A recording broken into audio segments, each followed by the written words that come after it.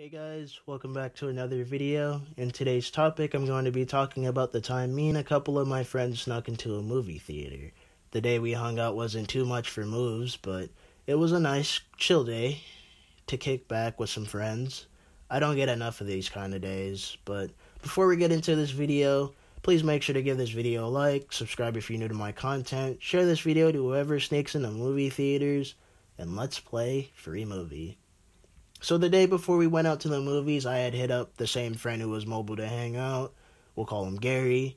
He had told me he had to work in a bit and that we'd have to hang out some other day. This all took place about three weeks ago. Gary then calls me up saying that his manager didn't actually need him to come into work that day later, so he figured he might as well chill with me since he already drove in the area. I would then hang out with them until I followed up with other plans I had made that day. The next day, I hung out with Gary and one of his friends. We'll call him Travis. We were at a mall walking around looking at stuff. We were also looking for moves, but it was a pretty boring day for a holiday. I guess everyone else had better plans with their loved one on Valentine's Day. Eventually, Travis came up with the idea to sneak into a movie theater. We all agreed to it because we were just that bored. So we went to a movie theater nearby, and the plan was that we would have to go in through the exit doors. That way, we would have instant access to watch any movie that was in theaters for free. The people who work there don't really check for people that don't have tickets because that's a lot of people to be checking.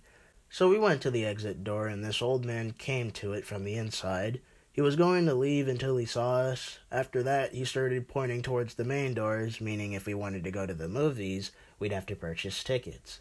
So we went to the front. We were brainstorming on what to do. Then Gary makes it to the bathroom that's a little past the front booth where you buy the tickets and food.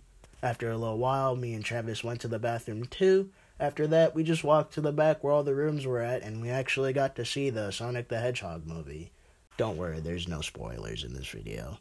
Another idea that Travis had in mind was that if we found cups in the trash bin and rinsed the inside of the cup with water in the bathroom, we'd be able to get free refills, because the workers would think we had already bought them. So, Travis and I did it. Gary passed on it because he's more of a germaphobe than we are. After that, we all somehow gathered up change to get popcorn from the stand. Going to the movie theater was a pretty good mission if you asked me. After the movie was over, it was only around 6:30 in the evening. The night was very young. We still couldn't come up with a move, so we ended up just going to my house. My stepdad was more edgy when it came to me having people over, but I'm pretty sure my mom has stopped caring over the months. We chilled in my room, bumped some music, watched some YouTube videos, and talked. Around 8:30 was the time Gary was going to drop Travis off back home and head home himself. After they left, I got really bored and ended up passing out. The end.